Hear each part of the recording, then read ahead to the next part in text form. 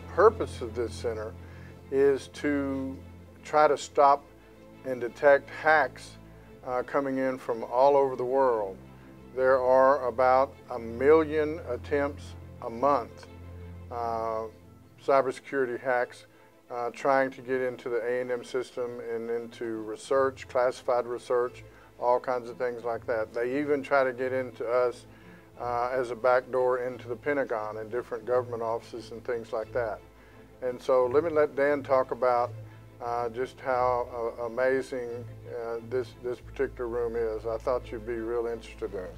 Thank you very much. So our Security Operations Center, like you were saying, monitors the entire A&M system. And we look inside individuals' networks so that the member institution can block things on their own and will detect the items that have gotten past those defenses.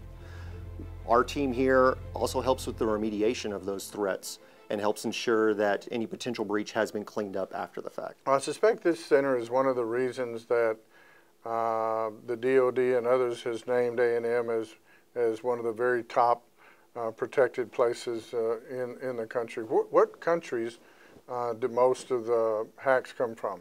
We actually see them from almost every country. Um, at the moment, we look at several that are coming from the United States, China, Russia, I, you name a country, and we've probably seen an attack from it.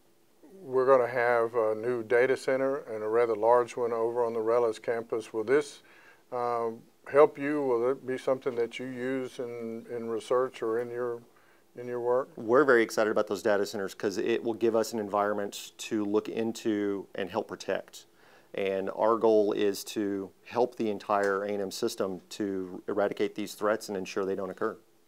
And you have a specific group of, of young men and women in the Corps that are doing this. Yes, sir. We are directly working with individuals who are um, destined to be those next generation of officers in the military. And what do they tend to be majored in? I mean, all of them majoring in this computer science or something like that? We have a lot of engineering students. Um, the majority of them are engineering students, but then we have a lot that are coming out of um, a litany of other areas. We even have some that are, we have business students, philosophy students, um, and several coming out of sciences as well.